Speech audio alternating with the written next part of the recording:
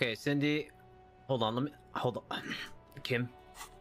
Need to engage in my communism activity. Where's my suggestion coat? Uh, uh, hold on. Uh, where's my fuck the world coat? All right, this is it. this is the gear. So, uh, Hello again, officers.